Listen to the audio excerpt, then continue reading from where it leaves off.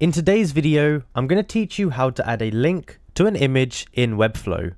If you find this video useful, please consider liking and subscribing. Let's get right into it.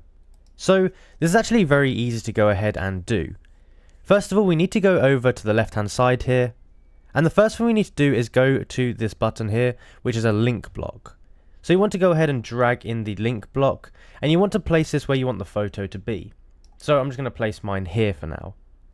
Then once you've gone ahead and done that, we want to go back over here and we need to scroll down until we find the image block.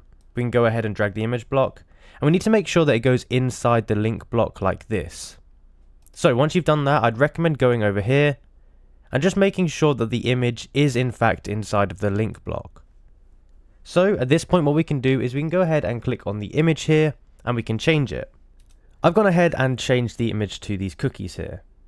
Now for us to go ahead and change the link, what we need to do, go back onto here and select the link block. Then we can go over on here to settings and down here we can change the link settings. So we can put a URL in here, we can put a page so we can link to one of the other pages. So for example we can put to it about us, we can change it to a part of the section, we can do email or phone number.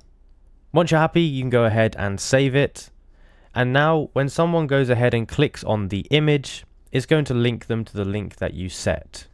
And you can go ahead and do things just like you would normally with an image. You can resize it. And you can also do normal things with a link block as well, changing the link and all that kind of stuff. But it's really as simple as that to go ahead and do. So if you enjoyed the video and found it useful, be sure to like and subscribe, and I'll see you in the next one.